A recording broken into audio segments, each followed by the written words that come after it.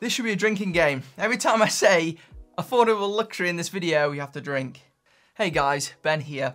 As advertising gets more and more advanced, it's likely that you're going to be tempted by more treats. If you're in the market for a wristwatch, I bet there are a number of brands following you around the internet right now. I've noticed that loads of these adverts use the same buzzwords to try and pot you with your hard-earned cash. A variety of stupid sales slogans that essentially mean diddly squat. In an attempt to cut through some of the BS, I thought today we go through some of such slogans so that you can look right through them and actually choose the watch that's best for you. I've fallen victim to such marketing practices in the past, so I'm hoping that this video will prove useful. Let's start with the big hitters and then move on to some that are more obscure. Affordable luxury. This one simply has to come first. I see this phrase plastered over a load of brands on Instagram and it's just laughable.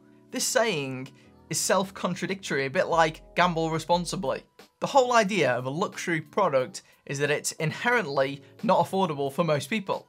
I kind of get where they're coming from with this. I guess what they may be trying to say is that they're trying to offer comparable build quality for a lower price than what is typically considered luxury.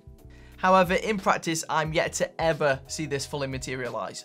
The vast majority of brands using this term are offering products that, in my opinion, are nowhere near their luxury counterparts, and just use the term affordable luxury as a placebo to convince people that these are luxury despite the product's multiple deficiencies. In reality, loads of these brands are just mid-market brands trying to convince you otherwise. As with the rest of the things on this list, there might be the incredibly odd outlier, but in reality, this is almost all I see.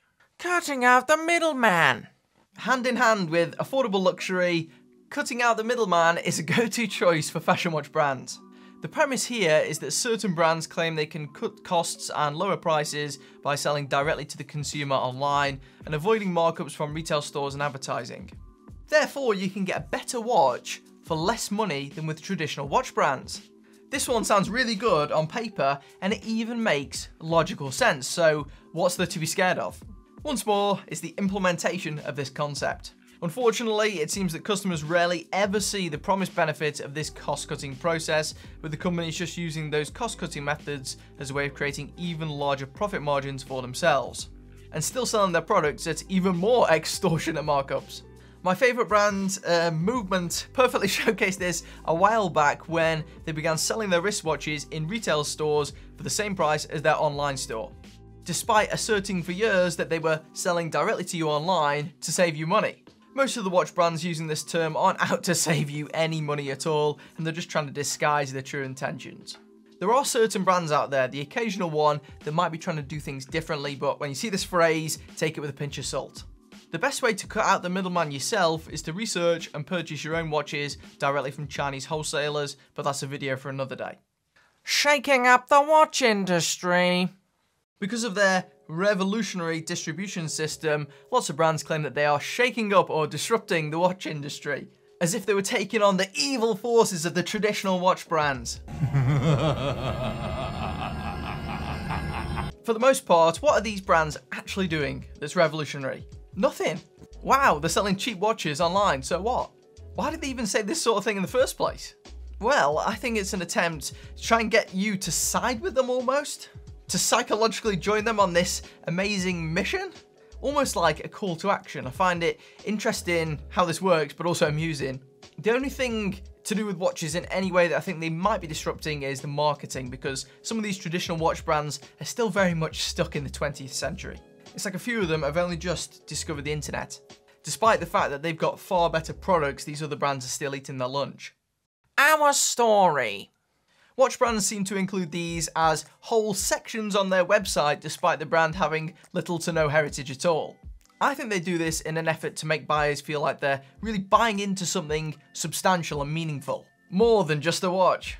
Let's be real here, it takes a decent chunk of time to develop any sort of history or heritage. It takes decades really. Any young brand trying to spout some sort of story is really skirting around the elephant in the room. Brands are founded to make money.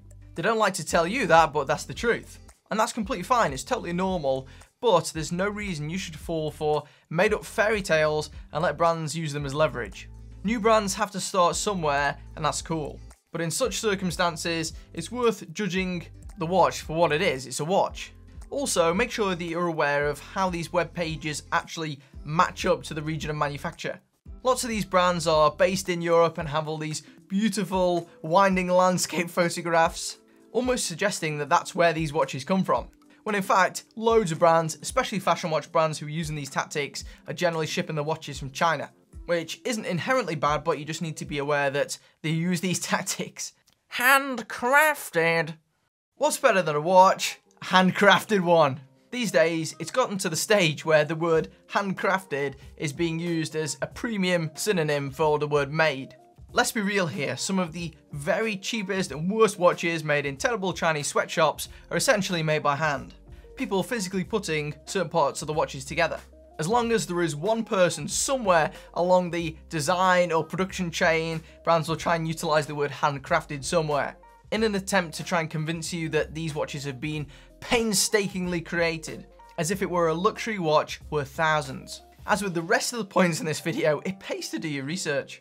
I've generally found that watch brands who actually have good craftsmanship aren't afraid to showcase where and how their watches are made, whereas those who abuse this jargon only ever talk about it they never show you. These days, there's also another assumption that I tend to make, and that's if on the website they don't tell you where the watches are made, it's normally made in China. If you're only paying £100 for a watch, it may be worth ignoring this word altogether because realistically, for that sort of price, are these going to be painstakingly manufactured? No. Premium quality! When someone tells you something is high quality, that's their opinion. I think it's fine when an independent third party gives their viewpoint on this provided that they're nothing to do with the brand. However, in any industry, it pays to be skeptical when the brand themselves are trying to ram it down your throat how high quality their products are. Let's be real here, what are they going to do? Tell you that their products are bad quality? Of course, pretty much every brand is going to tout that their products are the best and that they're super high quality, even if the product's rubbish and they know it.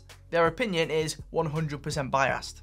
I've ordered watches that have been advertised as high quality before, they've arrived and they were terrible. I've purchased premium straps before which have arrived and been disastrous. Is this buzzword as bad or annoying as affordable luxury? Not quite, but I still think it's something worth ignoring, at least when it's the brand themselves that are telling you this.